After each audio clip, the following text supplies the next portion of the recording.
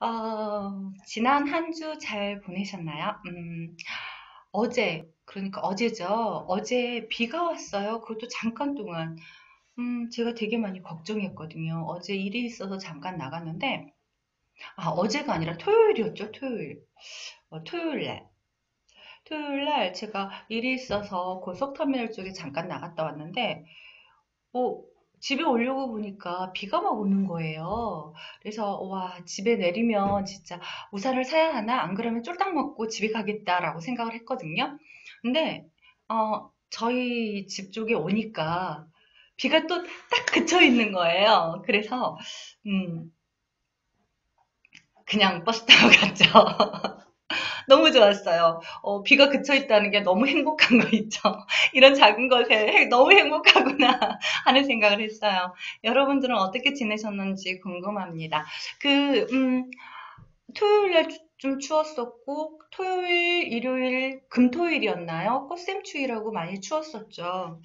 어, 제가 저희 화초를 밖에다 잠깐 내놓는다고 내놨었는데, 그, 잊어버리고 안 들여놨더니 얼었어요. 어, 어, 화초가 굉장히 아깝기도 했었고 일단 미안했어요. 이렇게 죽지는 않았을 것 같아요. 죽지는 않, 뿌리까지 저기서 죽지는 않았을 것 같은, 아, 같은데 좀 많이 미안하더라고요. 어, 여러분들도 한 주 동안 잘 지내셨길 바라고요. 어, 이번 주 어, 방송 시작하겠습니다. 음. 자, 지난주에 했던 우리 그 세상의 법칙. 지지난주 것까지 같이 복습을 한게 생겼네요. 자, 볼게요. 지지난주에 저희가 했던 게 파레토 법칙이었죠. 2080 법칙. 알고 기억하시죠?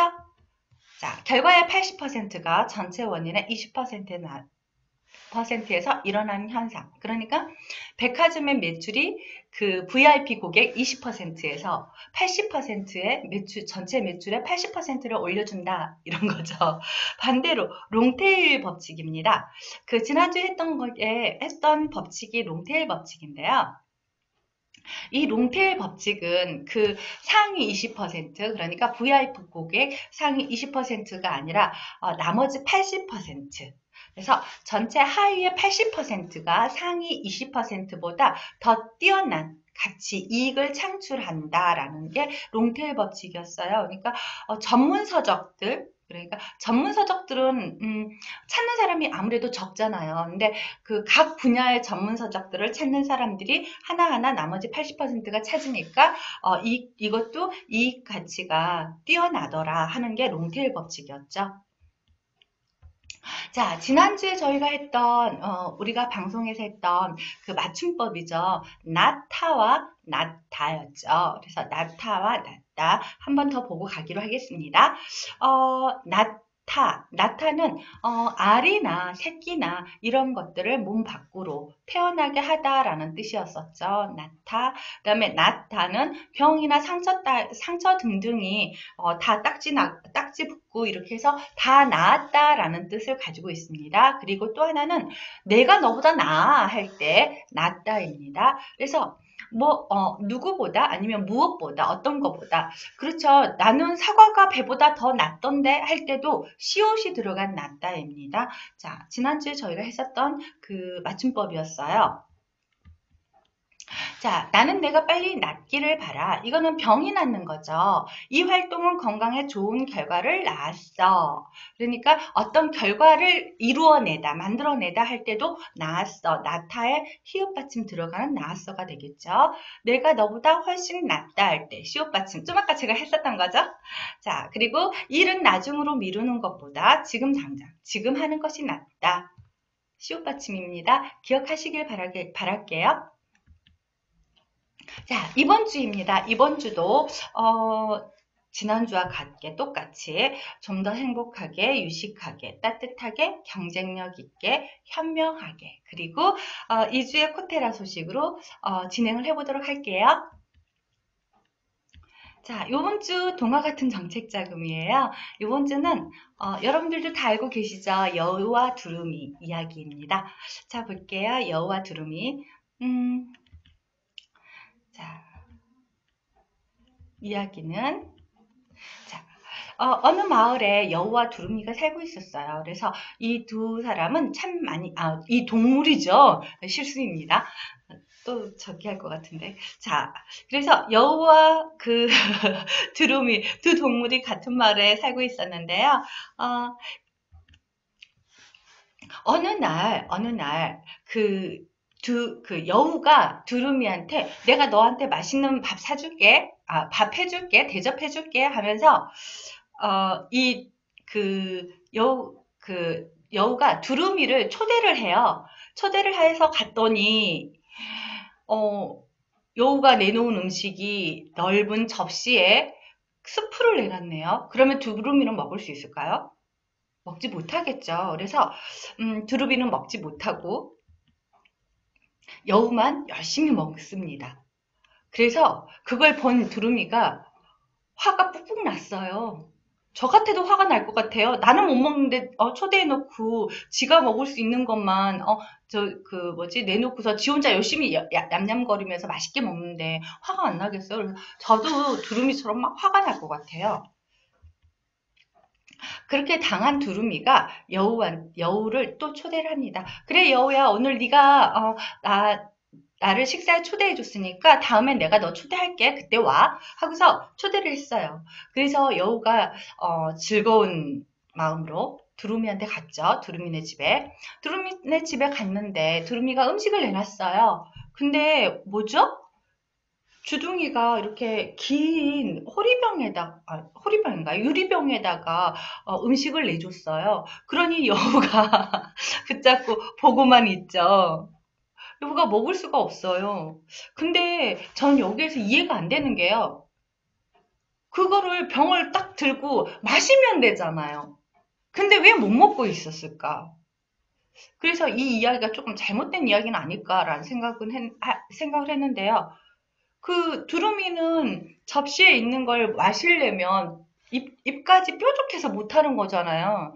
근데 이 여우는 마실 수 있었을 것 같아요. 근데 여우도 못 먹고 있거든요. 어쨌든, 네, 어쨌든, 어, 여우도 그 음식을 먹지를 못했어요. 그, 여우가 음식을 못 먹으니까, 어, 뭐, 이 음식을 버리는 건 아까워 하면서 두루미가 두 개를 다 먹습니다. 두 개를 다 먹어요. 그 모습을 보고 있는 여우가 뿍뿍뿍 뿍뿍뿍 그러면서 화가 났죠. 그래서 그러면서 여우가 이런 생각을 하지 않았을까? 이건 제 생각이에요. 내가 먼저 두루미를 배려했어야 했는데 내가 두루미한테 그렇게 못되게 굴어서 두루미가 또 나한테 이렇게 하는구나 하는 생각을 했을 것 같아요. 그래서 이 둘은 결국은 둘이 화해했대요. 둘이 웃으면서 어, 여우야 내가 미안해. 여우가 먼저 이야기했을 것 같아요. 어, 두루미야 지난번에 그렇게 내가 못되게 굴어서 정말 미안해. 이렇게 이야기를 했을 것 같아요. 그래서 둘이 사과하고 나중에도 이렇게 친하게 잘 지냈다는 이야기예요. 어, 이렇게 잘 지냈다는 이야기인데요. 두루미를 배려하지 않아서 그대로 돌려받은 여우예요. 자, 그런 여우처럼 그 기업들도 마찬가지인 것 같아요. 어떤 거를 이야기하냐면 그 기업이 어, 컨설팅을 맡기고 그리고 어떤 과제에 신청을 해서 과제에 선정이 되고 싶다 한다면 컨설팅을 하는 어, 그 전문가를 믿고 따라가야 하지 않을까요? 어, 제대로 된 컨설팅을 받고자 한다면 어, 컨설팅 자기가 맡긴 그 전문가를 맡고 따라가는 게 중요하다고 생각을 해요. 중요하다는 거예요. 왜냐하면 그 음, 정책 과제 그러니까 어, 정책 자금을 신청을 할 때 과제가 있잖아요. 무슨 무슨 개발 사업, 무슨 무슨 뭐 이런 거, 그 뭐 창업 개발 창업 기술 개발 사업 어, 이렇게 이렇게 공고가 되면 그 사업에 필요한 조건들이 한두 가지가 아니거든요. 그게 퍼즐처럼 이렇게 딱딱딱 맞아 떨어져야 나중에 과제에 선정될 가능성이 높아진, 높아져요. 그런데 기업이 어, 우리가 생각할 때는 이거 한 부분만 해주면 될 것 같아. 그러니까 야 니네가 어, 컨설팅 업체한테 이 한 부분만 채워주세요. 하면 컨설팅 업체에서도 컨설팅을 하는 전문가도 저희 전문 위원도 그럴 수밖에 없거든요. 그 한 부분만 딱 채워주고 마는 거 말 수밖에 없어요. 왜냐하면 그 부분만 채워달라니까. 그러니까 그 부분만 채워줄 수밖에 없겠죠. 그러면은 어, 선정된 가, 선정이 될 가능성보다는 어, 그 선정되지 못하고 흐지부지 될 가능성이 높아요. 왜냐하면 다른 것들이랑 퍼즐이 다 맞아 떨어져야 하는데 우리가 생각할 때 이 퍼즐 한 조각만 맞으면 돼 그랬는데 그 퍼즐 한 조각이 너무 뛰어나서 아니면 조금 음, 그 전체적인 방향하고 조금 달라서 이렇게 어, 긋나는 수가 많아요. 어긋날 수가 있어요. 그러면 어, 좋은 아이템 가지고 과제 선정에 못 될 수도 있거든요. 그럼 좀 억울하잖아요. 그러니까 어, 제대로 된 컨설팅을 받고자 한다면 우리가 필요로 하는 그 한 부분만 요청을 할 게 아니라 처음부터 끝까지 그 믿고 맡기는 것도 어, 중요할 것 같아요. 음, 퍼즐 한 조각만 맞춰줘 라고 했는데 저희가 뭐 알아서 이거는 이렇게 해야 되고요. 저건 저렇게 해야 되고요. 다 이렇게 그 배려를 해줄 수는 없는 거잖아요. 이거 한 부분만 맞춰줘. 퍼즐 한 조각만. 그러면 저희도 음, 전문위원들도 그 그 한 조각만 맞춰줄 수밖에 없어요.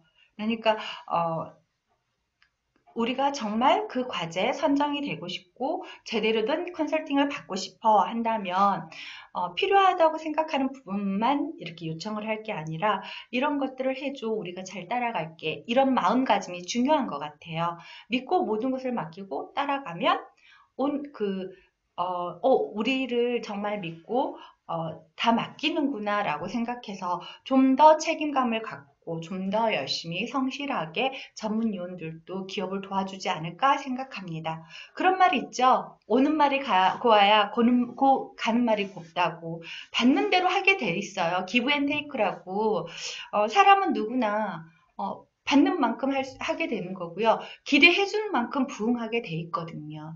그래서 이 부분은 기업 하시는 대표님들이 조금 음, 깊게 생각을 해보셔야 할 것 같아요. 어, 그, 저희한테, 그러니까, 어, 전문 컨설팅을 하는 사람들한테 믿고 맡기면, 그리고 터, 특히나 저희 코테라 같은 경우는 성장 단계별 로드맵이 있어요. 그래서 기업이 믿고 맡겨주면 어, 예비 창업 단계에서부터 어, 떤게 기업에 필요한지 필요한 거 그리고 챙겨야 할 거 이것들을 하나부터 꼼꼼하게 챙기게 되죠. 어, 별풍당당님 계속 풍선 쏴주고 계셨는데요. 별풍선 두, 주고 계셨는데 제가 미처 못 봤네요. 감사합니다. 어, 별풍선 더 많이 쏴주세요. 기대할게요. 자, 성장 단계별 저희 코테라에서 안, 그 안내하고 있는 성장 단계별 로드맵, 로드맵을 간단하게 살펴볼게요. 어, 깊이 있게 살펴볼 수는 없어요. 노하우니까. 자, 성장 단계별 로드맵을 잠깐 소개해 드릴게요. 먼저 예비 창업 단계가 있고요. 그래서 예비 창업 단계에 맞는 어, 자문을 컨설팅을 해드려요. 어떤 게 필요하고 뭘 해야 되며 뭘 하면 안 되는지 그리고 창업 초기 단계 이 단계에서도 꼭 하고 가셔야 되는 게 있고요. 짚어야 되, 짚고 가야 되는 게 있거든요. 그리고 기술 개발 단계.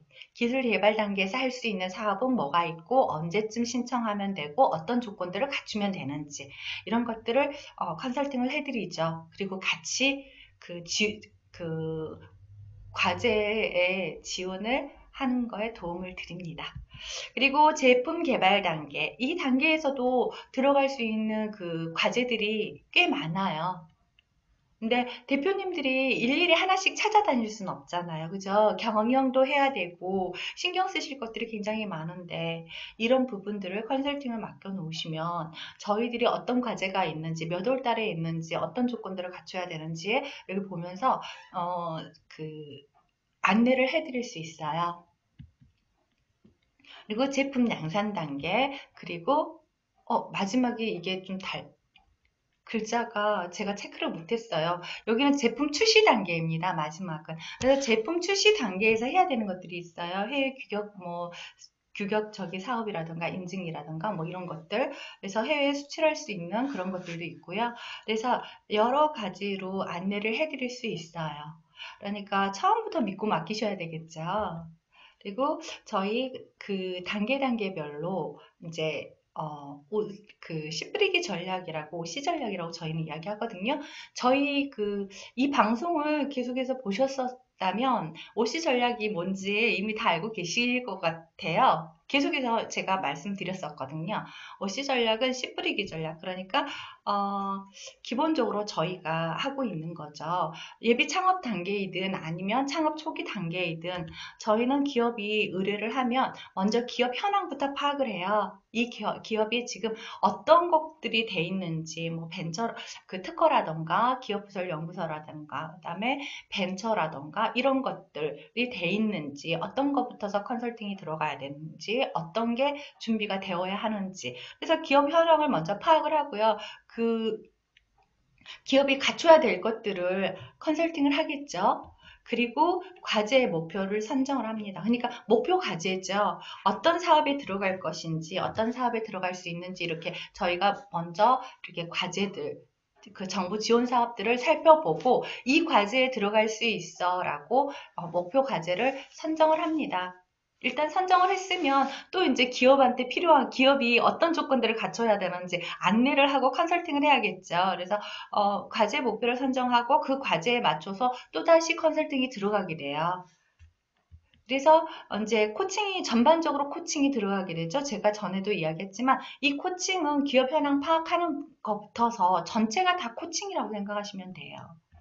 그리고 교정과 검수 이제 어 저희가 기, 그 뭐지 기업을 코칭을 해서 이제 사업 계획서를 썼어요. 그러면 그때부터서는 이제 교정과 검수가 들어가는데 제가 누누이 말, 말씀드리지만 이 교정과 검수는 전문 위원들도 어, 중간에 계속해서 체크를 하지만 저희 협회장님이 많이 그 해주시고 계세요. 그리고 맞춤 전략, 대면 평가와 현장 평가에 적합한 맞춤 전략들이 여러 가지가 들어갑니다. 이 맞춤 전략은요, 저희 협회만의 노하우예요. 저희 협회 전문 위원들이 가지고 있는 전문 노하우거든요.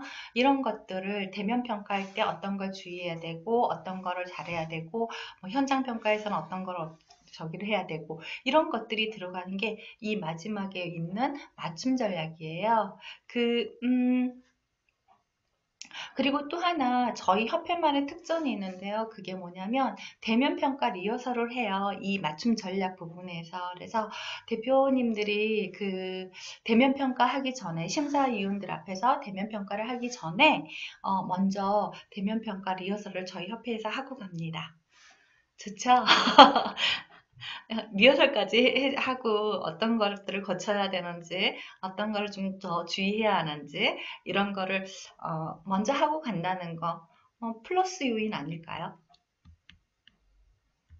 자, 그래서 정책 자금의 처음부터 끝까지 퍼즐 완성을 누구한테 저희 커테라에 그 믿고 맡겨주시는 거 중요한 어, 전략 중에 하나인 것 같아요. 대표님들이 꼭 기억하셔야 할 전략 이라고 생각하시면 될 것 같네요. 자, 이제 저희 그 어, 저희 협회에서 하고 있는 사업들을 간단하게 이렇게 보고 넘어갈게요. 왜냐하면 어, 저희 협회에서 하고 있는 그 어, 컨설팅이 종류가 여러 가지가 있거든요. 한번 쭉 보세요. 제가 어, 일일이 다 적기는 못해드리고 보여드리기만 할게요. 어, 굉장히 그 종류가 많네요. 지원 사업들이. 저희 협회에서 지원하고 있는 사업들이 어, 꽤 많아요. 그래서 어, 대표님들이 보고 괜찮요 저기 사업에 지원을 해보면 좋겠다라고 생각하시는 거 저기에서 선택을 하셔서 연락을 해주시면 저희가 처음부터 끝까지 어, 기업에 성실하게 네, 컨설팅을 할 거예요. 자 연락은 정실미 기억하시죠? 정실미 여기 들어오셔서 어떤 사업을 하고 있는지 어, 이그 협회가 어떤 협회인지 이렇게 조금 음, 살펴보시고 그리고 도움을 요청하시면 더 좋을 것 같네요. 그래서 정실미 꼭 그 이렇게 쳐가지고 확인 한번 해보세요. 어, 회원 가입하시면 더 좋고요. 어, 회원 가입하시면 그 이렇게 운영 요원들한테 질문도 할 수 있어요. 질문 이렇게 올려주시면 어, 답글도 달아주시고 그러는 것 같아요. 자, 이제는 음, 두 번째 챕터죠. 우리 맨날 그 순서가 같아서 이제 따로 뭐 두 번째 챕터는 뭐입니다 라고 이렇게 소개 안 드려도 되죠. 두 번째 챕터 세상의 법칙. 이번에는 치킨 게임 법칙이에요. 지난주에 그 롱테일 법칙 했었죠.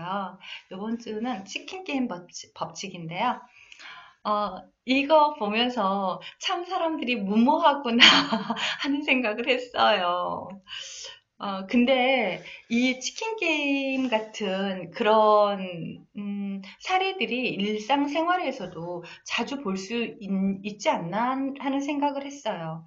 어, 저도 어, 미련하게 일했었던 적 있었던 것 같거든요. 자, 볼게요. 자, 치킨. 아, 입맛이다. 입맛이다. 다시다니. 아, 저녁을 좀 부실하게 먹었나 봐요. 어, 닭 두 마리가 열심히 싸우고 있죠. 그야말로 치킨들의 싸움이네요. 그죠? 자, 이것처럼 닭 두 마리가 이렇게 정면으로 부딪혀서 싸우는 것처럼 어, 아래 그림을 보니까 그 차 두 대가 정면으로 부딪힌 거죠. 정면으로 부딪히고 있네요. 자, 치킨 게임은요, 상대방이 항복할 때까지 정면 충돌한다 라는 의미가 있다고 해요. 그런 뜻에서 나온 말이 치킨 게임이라고 하거든요. 자, 그럼 한번 살펴볼게요. 1950년대 미국 젊은이들 사이에서 유행하던 자동차 게임의 이름이 치킨 게임이래요. 저는 그 치킨 게임이라고 해서 처음엔 닭, 그 먹는 게임 있죠. 닭 누가 많이 먹나 하는 그런 게임인 줄 알았어요. 그 치, 치킨 게임 딱 생각할 때 그런 것 같지 않나요? 근데 그 1950년대 미국 젊은이들 사이에서 유행했던 자동차 게임이래요. 근데 이 그 자동차 게임이 어그 제임스 딘 미국의 유명한 배우 있죠. 젊은 요절한 젊은 그 미남 배우 대표적인 제임스 딘 지금 봐도 잘생겼네요. 아줌마가 주책이라고 해도 어쩔 수 없어요. 아마 제임스 딘이 저보다 더 나이 많을걸요? 음, 제임스 딘이 이유 없는 반항에서 그 했던 그 자동차 게임이 있어요. 근데 그 제임스 딘에 나와, 아, 이유 없는 반항, 이 영화에 나왔었던 이 게임하고, 이 자동차 게임하고, 치킨 게임하고는 약간 미묘하게 다르다고 하는데요. 이 치킨 게임이 정면으로 이렇게 자동차가 정면으로 부딪히는 게임이라면 그 이유 없는 반항에서 제임스 딘이 했던 그 게임은 자동차 게임은 절벽으로 떨어지는 거였어요. 그러니까 자동차를 절벽 쪽으로 몰고 가다가 누가 그 제일 나중에 누가 둘 중에 누가 나중에 자동차에서 뛰어내려서 내리나 하는 걸그 내기를 그 시합을 한 거예요. 뭐 젊은 여자친구 하나 놔, 그 젊은 그 이쁜 여자친구 하나 놔두고 그 여자친구랑 뭐 누가 사귀나 뭐 이런 거 그런 것들 그런 내기였는데 음 그 제임스하고 그 경기를 했던 그 저기는 뛰어내리지 못하고 죽죠. 그 내용이었어요. 그 부분을 이제 뭐 치킨 게임 하면 그 장면을 자꾸 이야기를 하는데 이 제임스 딘이 했던 그 게임은 치킨 런이라고 하는 게 맞다고 하네요. 한번 어, 궁금하신 분들은 어, 직접 찾아보세요. 치킨이라는 거는 겁쟁이의 속어래요, 속어. 그러니까 치킨 그러면 어, 저 겁쟁이 이런 뜻을 가지고 있다고 해요. 명어, 명예롭지 못한 사람으로 그래서 취급을 많이 하는 게 치킨이라고 불린 그 사람들이 사람이라고 하거든요. 어, 이 치킨 게임 이제 설명이 나오는데 두 명의 운전자가 정면으로 음, 돌진하다가 충돌 직전에 핸들을 꺾는 사람이 진대요. 그러면 둘 중에 둘 다, 어? 둘 다 그 핸들을 꺾지 않으면 정면 충돌에 죽는 거잖아요. 정말 어리석은 게임인 것 같아요. 보통 너 죽고 나 살자여야 되는 거 아니에요. 너 죽고 나 죽자가 아니라 너 죽고 나 죽자 이판사판이다 이게 아니라 너는 죽고 나는 살자 이런 건데 둘 다 핸들을 꺾지 않으면 둘 다 죽는 거잖아요. 정말 어리석은 게임인 것 같아요. 근데 그 이 치킨 게임이 국제 정치학 용어로 사용이 된대요. 왜냐하면 1950년대에서부터 70년대까지 미국하고 소련의 소련이 그 군비 경쟁을 정말 극심하게 했대요. 이때가 냉전 체제 그 시대인 것 같아요. 그래서 그 1950년대에서 70년대에 그 미국과 소련의 극심한 군, 군비 경쟁을 꼬집는 용어로 빌려다 쓰다 보니 차용하다 보니 이 치킨 게임이 국제 정치학 용어로 굳어지게 됐다고 하네요. 근데 이제 지금은 지금 현재에 와서는 정치학뿐만 아니라 그 일상생활에서 그리고 경제계에서 그러니까 경제에서도 여러 가지 극단적인 경, 그 상황에서 그 극단적인 경쟁으로 치닫을 때 그때 치킨 게임이란 말을 많이 사용합니다. 자, 치킨 게임의 예가 대표적인 게 이 저는 그 군비 경쟁에서 그 원자폭탄 이렇게 폭발하는 거를 군비하면 제일 생각나는 게 핵이거든요. 그래서 이거 이 그림을 선택을 해봤는데요.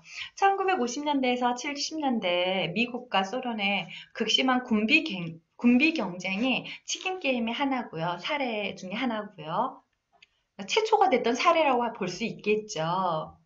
그리고 어, 지금 현재 그 쿠팡하고 티몬이 열심히 그 싸우고 있다고 해요. 그 전자상거래 업체인데요. 쿠팡이나 티몬 둘 다 이커머스 업체라고 해요. 이커머스 업체인데 전 티몬은 처음 들어봤거든요. 그 조금 제가 그 관심 있는 분야만 조금 캐는 그런 스타일인가 봐요. 팀원이 뭔지는 모르고 쿠팡은 알아요. 그래서 이커머스 업체, 이 둘 다 이커머스 업체라고 하는데 지금 열심히 다투고 있다고 해요. 서로 자기 기업의 출혈을 감수하면서 그리고 현재 또 저기 하고 있는 부분이 음, 어, 그 반도체 업체요. 반도체 업체. 그 얼마 전에 뉴스, 며칠 전에 어제, 어제 뉴스에 났던 것 같은데요. 어, 인터넷 뉴스도 찾아봤고, 뉴스로도 봤고, 그 종이 신문으로도 봤는데, 세계 반도체 시장이, 반도체 시장이 지금 그, 너무 이렇게 반도체 업체들이 많아져서 그 반도체 가격이 하락하고 있대요. 근데 어, 대표적인 그러니까 세계 3대 그 음, 반도체 업체 중에 하나인 그 미국의 마이크론이 마이크로칩 생산을 감축하겠다고 결정을 해서 그 치킨 게임이 되지 않게 됐다라는 기사를 봤거든요. 근데 10년 전에 10여 년 전에 이런 반도체 시장에 치킨 게임이 있었대요. 근데 그때는 음, 독일 키몬다와 일본 엘피다가 파산을 했고요. 우리나라 삼성이 살아남았다고 해요. 그, 그래서 그 이후로 삼성이 그 독보적인 반도체 1위 자리를 차지할 수 있게 되었다고 한, 하는데요. 음, 지금 이번에는 어, 미국의 마이크론이 메모리 칩을 생산을 조금 줄이겠다 해서 치킨 게임이 성립이 되지 않게 되었다는 뉴스였어요. 그리고 지금 어, 현재 또 BHC와 BBQ 그 치킨으로 유명한 회사들이죠. 어, 그 열심히 지금 다투고 있다는데 어, 경쟁사가 망할 때까지 하겠다 뭐 이런 것 같아요. 근데 어, 경쟁사가 망할 때까지 뭐 그 투자를 받고 출연 그 돈을 투자하고 뭐 이렇게 되면 우리 회사는 멀쩡할까요? 우리 회사도 멀쩡하지 않을 것 같아요. 그러니까 두 기업 다 출혈이 심할 텐데 어, 이 지금까지 봤던 기업들이 조금씩 양보하면 조금씩만 양보하면 음, 좀 더 좋은 결과가 나오지 않을까 싶어요. 둘 다, 둘 다 이렇게 망하고, 망할 수도 있는 상황이잖아요. 조금씩 양보하면 안 될까 하는 생각을 해봤어요. 어, 치킨 게임은요, 이상은 너 죽고 나 살자죠. 그러니까 꿈이죠 꿈. 일이야. 바라는 거. 그거는 그래 너는 죽고 나는 살자 이렇게 생각하고 하는데요. 하는 것 같은데 현실은 아니에요. 너 죽고 나 죽자예요. 너도 죽고 나도 죽는 거. 이게 되는 거지 너 죽고 나 살자가 되지는 않거든요.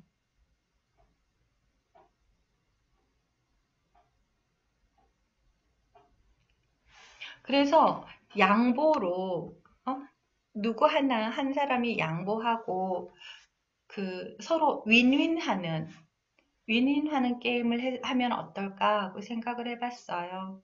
서로 윈윈해야 되지 않을까요? 너도 좋고 나도 좋고 조금씩만 양보하면 서로 좋은 그런 결과가 나오지 않을까 생각해봤어요. 근데 자존심이 뭔지 그 그렇죠. 자존심이 뭔지 어, 개인 들도 저도 그런 적이 있거든요. 그래 너 죽고 나 죽자 하면서 오기를 피우 살아오면서 오기 피운 적이 꽤 된 것 같아요. 꽤 있었던 것 같은데 어, 지금 생각해 보면 조금 음, 어처구니가 없죠. 정말 생각이 짧아도 저렇게 짧았을까 하는 생각들을 하는데요. 우리 기업들뿐만 아니라 우리들도 그리고 시청자 여러분들도 살면서 그 치킨 게임은 하지 않았으면 하는 생각을 해봅니다. 자, 이제 세 번째 챕터예요. 사회의 따뜻한 관심물이죠. 자, 정크푸드 규제에 대한 기사를 오늘은 어, 선택해 봤어요. 그 정크푸드 어, 영국에, 그러니까는 음, 영국은요, 이제 밤 9시 이전에 온라인 정크푸드 광고 못하게 한대요. 자, 내용 살펴볼게요. 자세하게. 자, TV에 이어 온라인에서도 오후 9시 이전에 정크푸드 광고를 금지하는 방안을 검토하고 있다라고 영국에서, 영국 정부가 발표를 했다고 하는데요. 그 TV보다, 어, 이미 영국은요, 2017년도에 2년 전으로 저, 제가 알고 있거든요. 2년 전에 이거를 그 수업을 했었던 기억을 하는데, 어, 2년 전에 TV에서는 정크푸드 광고를 금지를 했어요. 영국 같은 경우. 근데 이제는 TV, TV뿐만 아니라 온라인에서도 이 광고를 못하게 한다고 하는데요. 어, 그 이유가 TV보다는 개인 기기로 영상을 보는 경우가 늘고 있다고 해요. 그래서 TV가 아닌 개인 기기로 볼 수 있는 온라인에서도 금지하는 방안을 검토하고 있다고 하네요. 어, 영국에서는 어린이 3명 중 1명이 과체중이거나 비만일 정도로 어린이 비만 문제가 심각한 사회 문제로 떠올랐다고 해요. 근데 우리나라 역시도 어, 아이들 요즘 비만인 아이들이 점점점 늘고 있는 추세거든요. 어린이가 온라인에서 햄버거 등 정크푸드 광고에 노출되지 못하도록 광고 시간대를 규제, 규제하는 방침이고요. 어, 오후 9시 이전에 관련 광고를 아예 방영 금지시킨다고 하네요. 정부, 어, 영국의 정부 입장이요. 우리 아이들이 지방과 설탕, 소금이 많이 들어간 음식을 홍보하는 광고에 더 이상 노출되지, 노출되도록 할 수 없다라고 하는 게 영국 정부의 입장이라고 해요. 근데 제 개인적인 의견으로는 이런 거 참 괜찮은 것 같아요. 나라에서 아이들 건강을 신경을 써서 자라나는 우리나라의 기둥이잖아요. 그래서 그런 아이들의 건강을 위해서 이런 규제를 하는 거는 어, 좋은 정책이라고 생각해요. 저, 좋은 정책인 것 같아요. 자, 볼게요. 이 지금 보여지는 사진들 보시면 어떤 음식들인지 아시겠어요? 이 음식들을 정크푸드라고 해요. 정크푸드가 뭔지 아시는 분도 계시겠지만 그 시사에 관심이 없으신 분들은 모르실 수도 있어요. 정크푸드라는 거는요. 정크가 쓰레기, 그리고 푸드는 음식이죠. 그래서 정크와 푸드가 합쳐져서 쓰레기 같은 음식을 정크푸드라고 한다고 해요. 그러니까 말 그대로 쓰레기가 아니라 전혀 영양가가 없는 사람한테 우리 우리들한테 전혀 도움이 되지 않는 그런 음, 음식을 정크푸드라고 한다고 해요. 정크푸드를 왜 쓰레기 음식이라고 하는지 볼게요. 어, 정크푸드는요, 먼저 패스트푸드하고 인스턴트 식품을 대표적인 정크푸드라고 한대요. 이 정크푸드는 어, 열량은 높지만 필수 영양소, 그러니까 우리 몸에 필요한 필수 영양소는 아주 낮다고 해요. 함유량이, 함유량이. 그리고 인공 첨가물과 지방 나트륨이 많이 들어있어서 사람한테 좋지 않다고 하네요. 그 한국인, 그러니까 우리나라 사람 하루 열량 권장량인데요.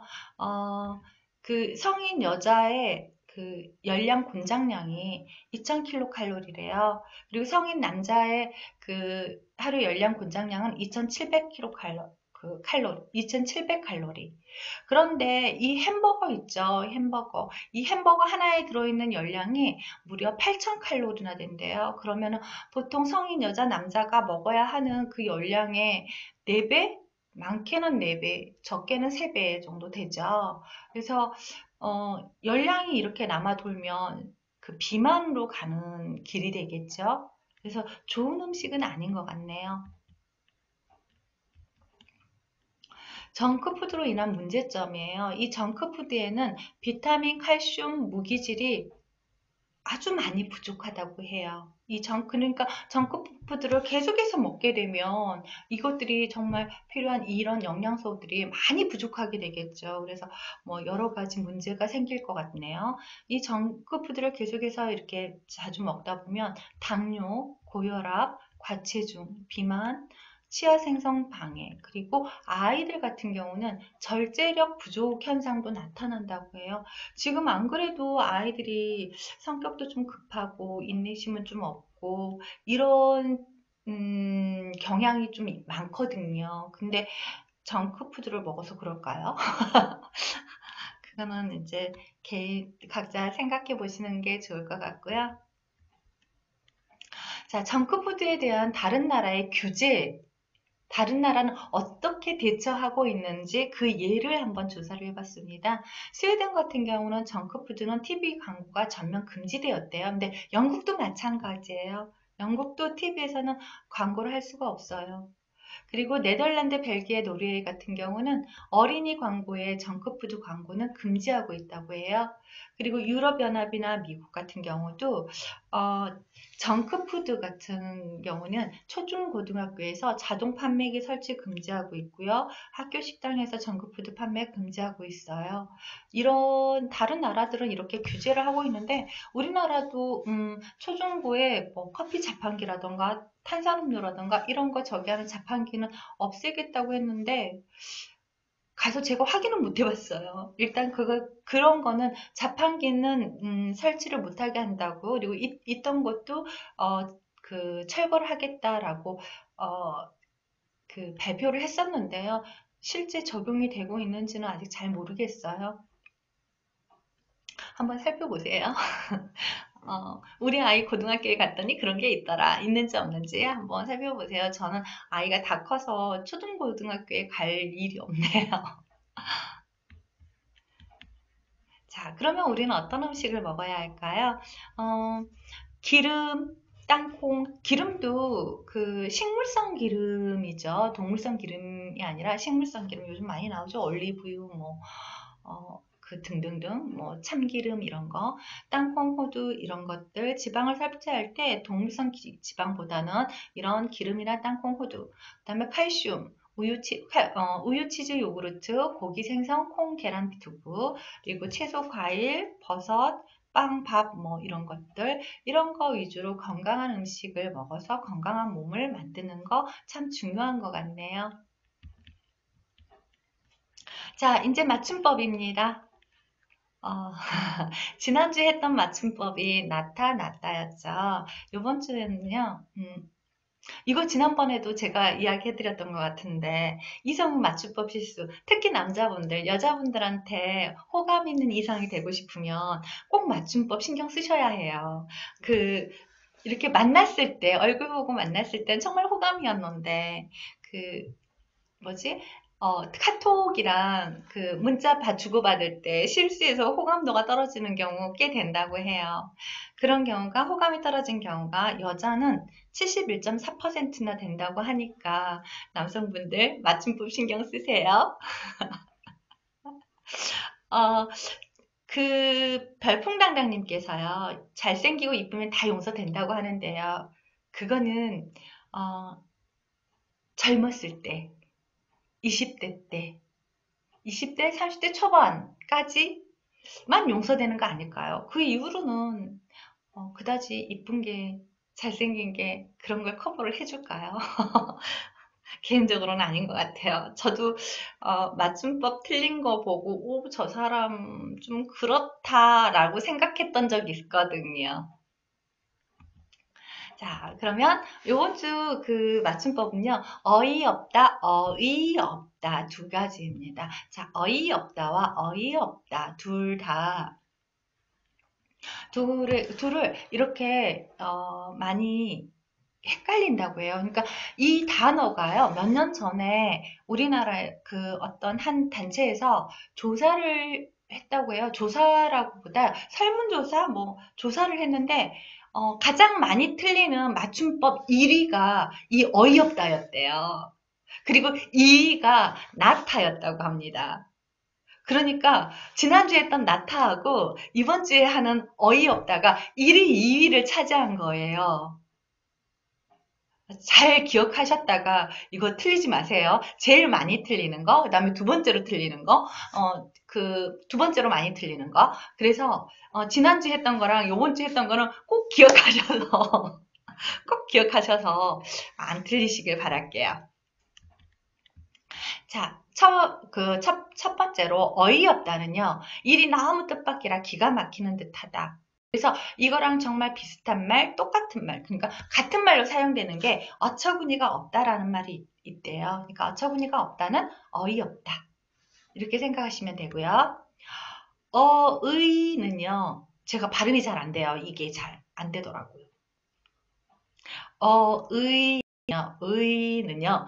자, 궁궐 내에서 임금이나 왕족의 병을 치료하던 치료하던 의원 지금으로 말하면 의사죠. 그런 사람을 어이라고 어의라고 했고요. 그리고 임금이 옛날 임금님이 입던 옷 있죠. 그거를 어의라고 했다고 하네요. 대표적인 우리나라 유명한 어의로는 허준이 있죠. 동의보감을 썼던 허준. 자, 어처구니를 설명을 한번 간단하게 드릴까 하고 이 그림을 올려봤습니다. 그 지금 이거 맷돌이죠, 맷돌. 우리 콩, 콩국수. 콩국수 할 때 이렇게 하는 콩을 가는 맷돌, 맷돌입니다.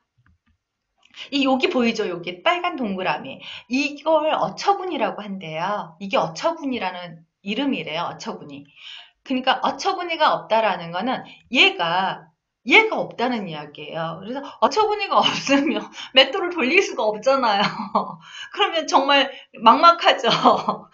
손으로도 이렇게 맷돌 위를 이렇게 이렇게 이렇게 이렇게 돌릴 수 운전하듯이 돌릴 수도 없고 그래서 이 맷돌 손잡이를 어처구니라고 하는데 정말 기가 막히고 막 그 어이가 없는 거를 이 어처구니가 없다. 그래서 기가 막히고 저기 한 상황을 어이가 없다라고 한대요. 자, 이제 그 지난번뿐만 아니라 맞춤법 시작하면서 처음부터 했던 그런 것들 한번 점검을 볼 수 있는 그 카톡 이 저기 그림이 네이버 농민, 농민신문에 있더라고요. 그래서 제가 몇 개만 캡처를 해왔는데요. 한번 볼게요. 자, 그 집 앞인데 잠깐 나올래? 이래서 여기 밑에 다른 그 저기 분이 그, 그 설명을 해놓은 게 더 재밌어요. 이게 뭐냐면 그에 대한 애정이 사라지는 순간 어의는 내 집 앞이 아니라 병원에서 찾길래 그랬죠. 너무 웃겼어요. 저 이거 보면서 막 깔깔거리고 웃었거든요. 어의가 아니라 어인데 어이를 어의라고 썼다고 병원에서 찾으라고 했나 봐요. 자, 먼저 틀린 거 체크해 볼게요. 얘기는요. 이 얘기는 그 공자 맹자 하는 그 책 있죠. 옛날 사사삼경 뭐 이렇게 찾는 그 사사삼경에 들어있는 책 중에 하나가 얘기인 것 같아요. 그래서 할 얘기가 있어는 이야기의 줄임말인 야 이자를 쓰는 얘기를 써야 합니다. 그리고 너 진짜 어이없다. 이거는 어의가 아니라 어이를 써야 돼요. 그리고 두 번째 그 챕처 그 뭐지 카톡을 한번 볼게요. 이 카톡에 소개팅에서 만난 지적인 그녀의 이미, 지적인 이미지의 그녀. 그런데 이미지는 환상뿐이었나? 나에게 KU 대신 출산을 빌어주네. 그랬죠. 마지막, 마지막 줄 보세요. 나에게 KU 대신 출산을 빌어주네. 나으시고가 지금 출산인 거잖아요. 그래서 너무 웃겼어요. 틀린 낱말 체크해 볼게요. 오랜만에는요, 오래간만에 라는 말의 줄임말이기 때문에 니은이 들어가야 돼요. 오랜만에. 나중에 한번 이것도 할게요. 지금 나으시고, 감기 얼른 나으시고, 그러면 밑에 받침이 없어야 돼요. 감기가 낫는 거잖아요. 그러니까 니은 받, 그, 아, 나의 히읗 받침이 없, 없는 그냥 나으시고를 썼어야 되는데, 히읗 받침을 써서 출산을 빌어주네. 이런, 어, 웃기죠? 되게 웃겼어요. 자, 다음 거는요, 어, 보면, 그, 김대리 그 보고서 얼마면 되니? 이것도 너무 웃겼거든요. 그 결제에 문제가 있는 거죠. 이 결제는 돈을 지불하는 거, 돈에 대한 계산을 하는 거, 이거를 결제라고 하고요. 그 서류를 이렇게 검사받고 검수하는 그거는 결제, 아, 이자를 쓴다고 해요. 그리고 배요, 우리 이거 했었죠. 배어 요의 줄임말이 배요기 때문에 배요는 아, 이자 써야 되죠. 배요. 아, 별풍당당님, 화장 다 지우면 못 만나진 않아요. 저는 그냥 별로 이쁘진 않지만, 어, 생얼도 많이 다니거든요. 근데, 어, 화장 지우면 안 만나는 그런 거는 요즘 개인의 성향이기도 하고, 요즘 아이들은 생얼로 잘 안 만나나 봐요. 자, 다음 거는 음, 심란하곤 했죠. 아내와 싸웠다는 친구, 아내가 그에게 일과 절을 많이 시키나 보다 그랬는데 일해라 절해라 이것 때문에 그러는 것 같아요. 저 정말 이거 보면서 정말 많이 웃었거든요.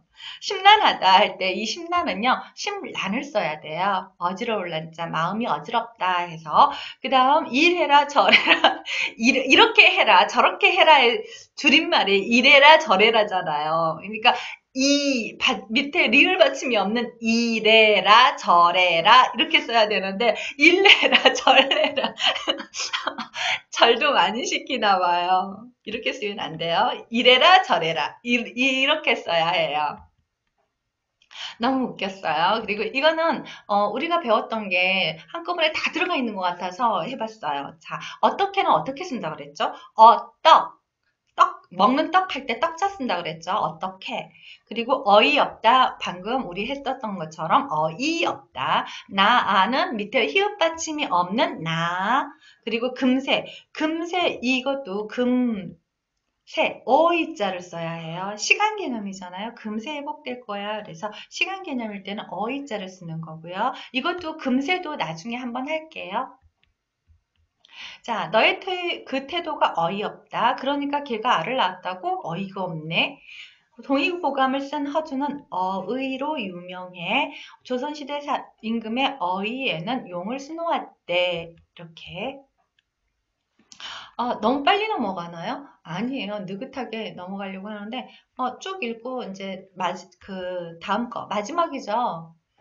조금 더 현명하게 한 번쯤 생각해 보시길 자, 요번 주는요, 11번째 이야기예요. 이름, 이름. 우리 그러죠. 야, 너 이름값, 이름을 좀 날려라. 네 이름에 대해서 책임을 져야 되지 않겠냐? 이런 말 많이 하는데요. 이름 어떤 내용일지 궁금하죠?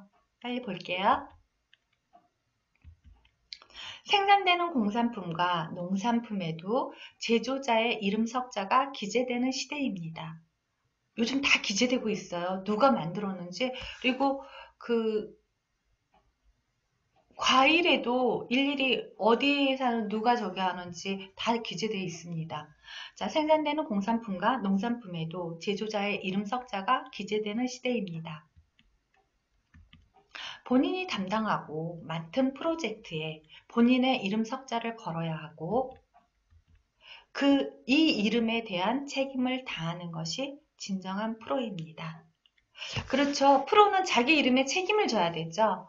그 전문, 어, 그러니까, 어, 프로 운동선수들이나 연예인이나 그리고 의사, 전문가들 등등등 프리랜서 이름으로 그 이름을 걸고 하는 프리랜서들 이런 사람들 뿐만 아니라 회사에서 중요한 역할을 하는 사람들 이런 사람들이 어, 책임을 다해야 되지 않을까요? 자기 이름에 대한 책임을 져야 할 것 같아요. 그리고 이름을 걸고 음식점을 하거나 뭐 어, 상품을 팔거나 하는 경우 많이 있죠. 근데 그 이름값을 못하는 제품들이 많이 있는 것 같아요. 그런 사람을 프로라고 할 수 있을까요? 나름 프로라고 자부심을 갖고 살기는 할, 할 것 같아요. 나와서 막 이렇게 이야기하고 하는 거 보면 그러는 것 같은데요. 정말 그 이름에 책임을 지는 그런 진정한 프로가 되길 바래, 바래요. 네. 어, 별풍당당님께서요, 계속, 음, 별풍선 어, 올려주시네요. 어, 10개 감사합니다. 또 올라왔어요, 별풍선이. 어, 행복해. 그런데요, 어, 별풍당당님께서 왜 개 그림이라고 했는데, 여기 사진에 지금 개 사진이잖아요. 책임인데, 어, 그 애완견을 기를 때 책임감을 다해야 되지 않나요? 책임이죠. 한 생명을 보호하고 저기 하는데 책임이 따라야 되는 거죠. 자기 이름에 책임을 걸듯이. 네. 그래서 우리 모두 진정한 프로, 그냥, 어, 남들이, 어, 책임을, 어, 남들이 알아주는 전문가가 전문가이기도 하죠. 하지만 진정한 프로는 남들도 알아주지만 남들이 알아주는 그 이름만큼 그 값을 하는 프로 아닐까 생각합니다. 그래서 저도 프로가 되려고 많이 노력을 하고 있어요. 노력을 하고 있어요. 근데 진정한 프로가 될 수 있을지, 될 수 있다는 희망을 갖고 여러분들도 어, 이름, 내 이름에 대한 거, 그리고 이름에 책임을 진다는 거에 대해서 한번 좀 생각하는 시간이었길 바래봅니다. 자, 이주의 코테라 소식인데요. 그 지난번에 제가 이렇게 간단하게 소개하고 넘어간 이 코칭 지원 사업이요. 기업 R&D 역량 무상 진단 코칭 지원 사업. 어, 얼마 전에 저도 이거 무상 진단 하고 그 역량 진단 하고 왔거든요. 근데 어, 괜찮았어요. 음.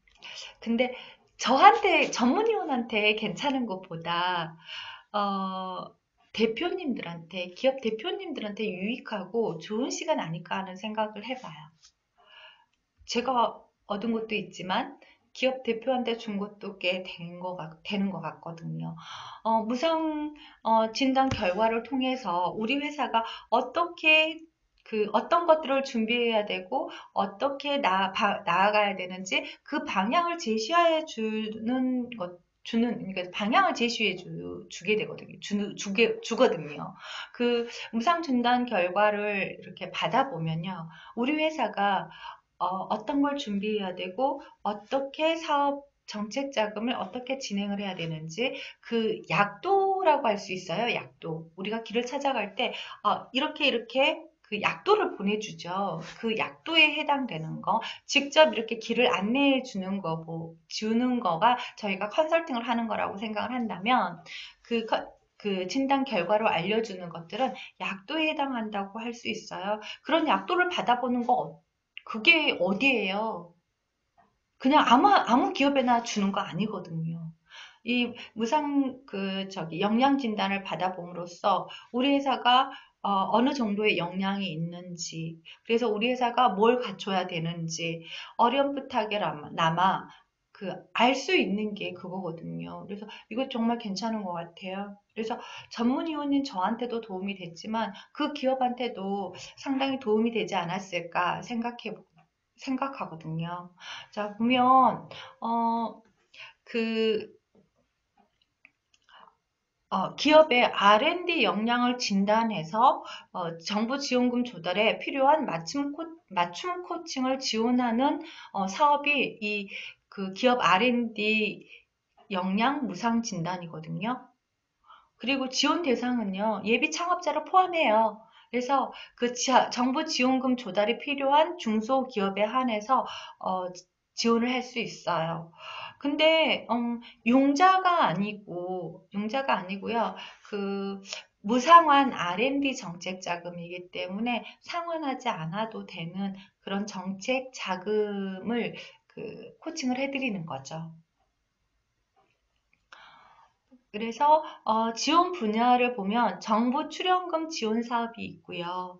지식산업재산권 지원 사업이 있어요. 이 지식산업재산권 지원 사업은 특허죠. 특허 그리고 기술 및 신제품 개발 자금 이거를 어, 이거에 해당되는 정책 자금을 저희가 코칭을 해준다는 거죠. 그리고 예비 창업 지원 사업, 그리고 각종 인증 지원 사업, 어, 녹색 인증이라던가 NEP라던가 조달 우수 제품 등록이라던가 이런 것들 저희 그 협회에서 이 사업을 통해서 코칭을 지원하고 있어요. 그러니까 음, 저희 협회 정실 및 카페에 들어오셔서 그 자세하게 한번 살펴보세요. 진행 절차는 어, 무상 R&D 그 진단을 그 신청합니다 하고 신청서를 접수하시면요. 접수하시고 접수하시면 접수 후에 저희가 방문해서 전문위원들이 방문해서 진단 평가를 해드려요. 그 진단 평가를 하고 그리고 선정 통보를 하면 이제 선정이 되면 어, 협약을 맺고 그리고 나서 이제 이 코칭을 지원하는 지원을 하, 하게 돼요. 프로그램 맞춤 지원이 이제 들어가게 되는 거죠. 그래서 이 진행 절차 이렇게 조금 더 크게 해놨는데요. 어, 저희 코테라에 들어오셔가지고 여기에 신청을 하면 하시면 돼요. 그러니까 어, 코테라 들어오셔서 들어와서 코테라 그 사이트에 들어와서 그 한번 쳐보세요. 무상역량 진단 신청하고 그러면은 어, 쭉 이렇게 하실 수 있, 으세요 그리고 어, 직접 못하 어, 그 카페 들어가서 하시는 게 번거로우시면 여기 밑에 전화번호 있죠? 전화번호 여기 밑에 그 저희 협회 전화번호가 있어요. 여기 있죠? 어, 안 보인다. 안 보이네요. 제가 불러드릴게요. 572에 8520입니다. 02-572에 8520. 한 번만 더 말씀드릴게요. 02, 서울이니까 02죠. 지역번호. 572에 8520. 여기에 전화하셔가지고 무상영양 진단 받아보고 싶은데요 하면 아주 자세하게 말씀드릴 거예요. 안내해 드릴 겁니다. 자, 정칠 및 카페죠. 여기에 들어오시면 돼요. 아, 오늘 방송도, 오늘은 방송이 조금 길었죠. 좀, 조금 길었는데요. 음, 뭐가 많았지? 뭐가 많았는지를 모르겠네요. 뭐가 많았는지 모르겠는데, 어, 어쨌든 방송이 조금 길어졌어요. 자, 어, 이제 방송이 다 끝났는데요. 음, 그, 지금, 음, 어, 오늘이 벌써 3월 말이죠. 25일. 너무 시간이 빠른 것 같아요. 20대 때는 아니 20대 때가 아니라 학교 다닐 때 고등학교 때 중학교 때는 어, 정말 빨리 커서 음, 어른이 되고 싶다고 생각했는데요. 정말 시간 안 간다고 생각했거든요. 정말 시간이 안 가서 빨리 어른이 되고 싶은데 왜 이렇게 시간이 안 갈까? 이런 생각을 하면서 살았던 것 같은데 20대 중반이 넘어가면서 하루하루가 너무 빠른 것 같아요. 하루가 너무 빨라요. 그래서 오늘도 아침에 눈 뜬 지 얼마 안 된 것 같은데 벌써 여기 그 방송하러 와야 되더라고요. 그래서 어, 뭐지 이런 생각을 참 많이 했어요. 시간을 좀 붙잡아 놓고 조금만 천천히 가게 할 수 없을까라는 생각 그런 생각을 하면서 아, 하루가 너무 빠르다. 근데 오늘 또 방송을 하면서 생각을 하니까 문득 어, 문득 벌써 25일인 거예요.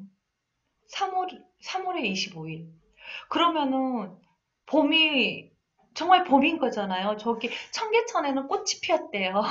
저 보러 못 가봤는데 꽃 피었다고 하더라고요. 어, 그 어제까지 오늘 아침도 좀 추웠던 것 같은데 이제 낮에 나오면서 좀 아까 저녁 때 나오면서 이렇게 저기 하니까 옷을 좀 가볍게 입었는데도 어, 그렇게 많이 안 춥더라고요. 날씨 조금 따뜻해졌으니까 그리고 어, 오늘보다 내일이 내일보다 모레가 이렇게 조금씩 더 따뜻해질 거니까 주말엔 가족들이랑 청계천 아니면 어, 가까운 교회로 나가셔서 어, 가족과 같이 꽃을 보는 것도 참 좋을 것 같네요. 이번 주 방송 어, 봐주셔, 봐주셔서 정말 감사하고요. 어, 다음 주, 이번 주 방송은 여기서 마치고 다음 주에 다시 찾아뵐게요. 네, 건강하게 안녕히 계세요.